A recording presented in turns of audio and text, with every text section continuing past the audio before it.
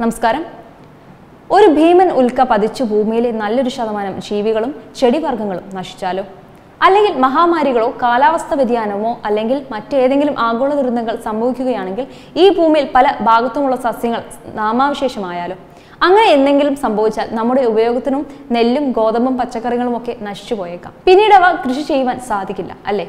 അങ്ങനെ ഒരു കാലത്ത് സംഭവിക്കുകയാണെങ്കിൽ ഭാവിയിലേക്ക് വേണ്ടി ഒട്ടുമിക്ക സസ്യങ്ങളുടെയും വിത്തുകൾ ഒരിടത്ത് സൂക്ഷിച്ചു വെച്ചിട്ടുണ്ട്. അതാണ് സ്വൽഭാട് അഗോള വിത്ത് നിലവർ സാധാരണഗതിയിൽ ഒരു തരത്തിലും നശിക്കാത്ത രീതിയിൽ സുരക്ഷിതമായ ഒരിടത്താണ് ഈ നിലവർ നിർമ്മിച്ചിരിക്കുന്നത്. അതിനാൽ ഭാവിയിൽ മനുഷ്യന് ഇവിടെ സൂക്ഷിച്ചിരുന്ന വിത്തുകൾ ഉപയോഗിച്ച് ആ ചെടിവർഗങ്ങൾ വീണ്ടും വളർത്താവുന്നതാണ്. ലോകമെമ്പാടുമുള്ള ജീൻ ബാങ്കുകൾ സൂക്ഷിച്ചിട്ടുള്ള ഒട്ടുമിക്ക വിത്തുകളുടെയും പകർപ്പ് ഇവിടെ സൂക്ഷിച്ചിട്ടുണ്ട്. തൊണ്ണൂറ്റി മൂന്ന് ലക്ഷത്തിലധികം ഇനം ഭക്ഷ്യവിളകൾ. ഓരോ സാമ്പിളിലും അഞ്ഞൂറ് വിത്തുകൾ അടങ്ങിയ നാൽപ്പത്തഞ്ച് ലക്ഷം വിത്ത് സാമ്പിളുകൾ. നിലവറയിലെ ഒരു മുറിയിൽ ഒരു ലക്ഷത്തി അൻപതിനായിരം വ്യത്യസ്ത ഇനം ഗോതമ്പുകൾക്കുള്ള വിത്തുകൾ. വിത്തുകൾ ഈർപ്പം ഉള്ളിൽ കടക്കാത്ത വണ്ണം പ്രത്യേക പാക്കറ്റുകളിലാണ് സൂക്ഷിച്ചിരിക്കുന്നത്. ഇവ മെറ്റൽ റാക്കുകളിൽ അടക്കി വെച്ചിരിക്കുന്നു.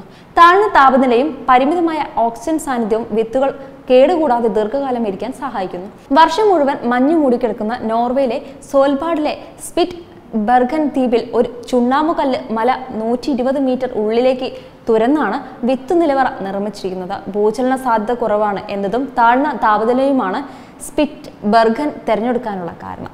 കടലിൽ നിന്ന് നാനൂറ്റി മുപ്പത് അടി ഉയരത്തിലാണ് ഇത് സ്ഥിതി ചെയ്യുന്നതിനാൽ മഞ്ഞുമലകൾ ഉരുകിയാലും പ്രദേശം ഉണങ്ങി തന്നെ ഇരിക്കും. അവിടെ നിന്ന് തന്നെ ഖനനം ചെയ്യുന്ന കൽക്കരി ഉപയോഗിച്ച് കൂടുതൽ തണുപ്പിക്കാനുള്ള വൈദ്യുതി ഉൽപ്പാദിക്കാൻ കഴിയും. ശീതീകരണ സംവിധാനം പരാജയപ്പെട്ടാൽ തന്നെ ചുറ്റുപാടുമുള്ള താപനിലയിലേക്ക് എത്താൻ ഏതാനും ആഴ്ചകൾ വേണ്ടിവരും. വിത്തുകൾ ഈർപ്പമുള്ളിൽ കടക്കാത്ത വണ്ണം പ്രത്യേക പാക്കറ്റുകളിലാണ് സൂക്ഷിച്ചിരിക്കുന്നത്. നോർഡിക് ജനറ്റിക് റിസോഴ്സ് സെന്ററാണ് ഈ കേന്ദ്രം കൈകാര്യം ചെയ്യുന്നത്. നിർമ്മാണത്തിന് മുൻപ് നടന്ന സാധ്യതാ പഠനത്തിൽ പ്രധാന ധാന്യവിളകൾ നൂറുകണക്കിന് വർഷത്തേക്ക് സംരക്ഷിക്കാൻ കഴിയുമെന്ന് കണ്ടു. ചിലത് ആയിരക്കണക്കിന് വർഷത്തേക്ക്. രണ്ടായിരത്തി എട്ട് ഫെബ്രുവരിയിലാണ് സംവിധാനം ഔദ്യോഗികമായി തുറന്നത്.